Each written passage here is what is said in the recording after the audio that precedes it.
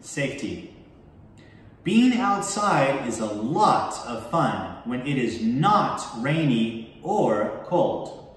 Getting hurt is not fun.